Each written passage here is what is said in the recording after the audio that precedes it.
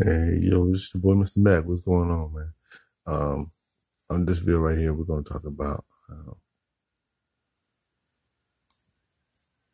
this current thing about child support, man, and not people getting paid. You know, the the fucked upest thing about this shit is that when you think about all the fathers and parents who's out here who are working, was paying their child support, yeah, they may have been by behind, but you know, so I ain't talking about the ones who ain't paying the child support, the deadbeat fathers, the ones who ain't paid in years. You know what I'm saying? I ain't talking about them. I'm talking about the fathers who paid their child support and the mothers who've been paying child support and maybe got behind, but they still was paying it and working, then got laid off. Now, you know, cause the government wants to screw you. And I mean, they put a big F you on there. You know what I'm saying? Like you don't deserve to eat and pay your bills now because you're not, you don't qualify for the thousand dollars. That's crazy. That's crazy because if they didn't lose their jobs, they wouldn't be currently in this situation right now because they was working paying that child support. But now because they was my old child support, oh, you figure that they don't deserve to eat? Come on, really? What is this, a third world country? What's this, the Philippines something, man? Y'all, what, what's this? For you to say that and then pass the law to say that these type people don't deserve to eat? Man, that's I am so blessed that, you know, uh, because I'm in that situation. That's why I can talk from that. Because I'm in that current situation of not, you know, but lucky I'm still working. You know I'm saying? I'm blessed I'm still working. Because, you know, I would be very upset. You know, I, I didn't expect to get a thousand dollars anyway, but still, it's just the fact that if I was not working and I'm paying my bills, now you put me in a situation that how am I going to pay my bills? Because you don't think I deserve to get that money because I owe back child support when I'm currently paying on back child support? That's crazy to me. That's crazy because there's a lot of people, man, like include my brother who's in that situation that, you know, he got behind the child support, but he was paying on it. And now you telling him that he can't pay, he can't get the thousand dollars because, oh, he has back child support?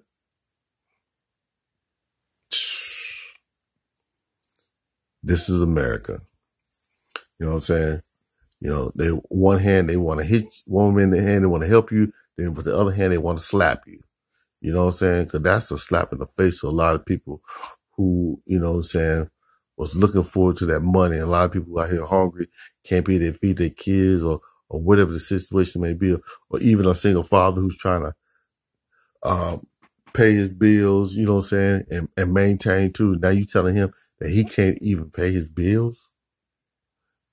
You know what I'm saying? He can't even, he can't even get that money because everybody's not getting unemployment. I mean, yeah, you know, even 10 million, even though 10 million people have filed for unemployment, you know what I'm saying? It doesn't mean nothing because if unemployment does the same thing that y'all doing, that person's screwed. That person is screwed because they ain't got nothing else coming in and y'all telling them they don't deserve to get no money. Come on, Congress. Come on, America. What, what what's this? That is some bullshit. For real.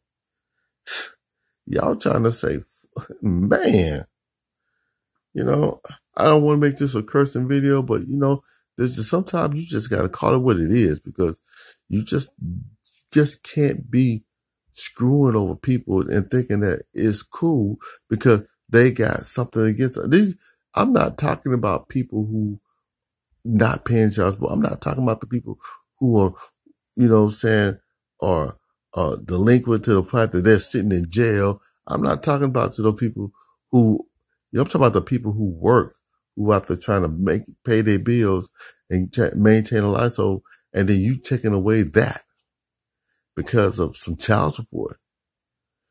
That's not that's that right there is wrong, man. That's just wrong because that person or that father or that mother don't deserve that because because it's not their fault that they lost a job.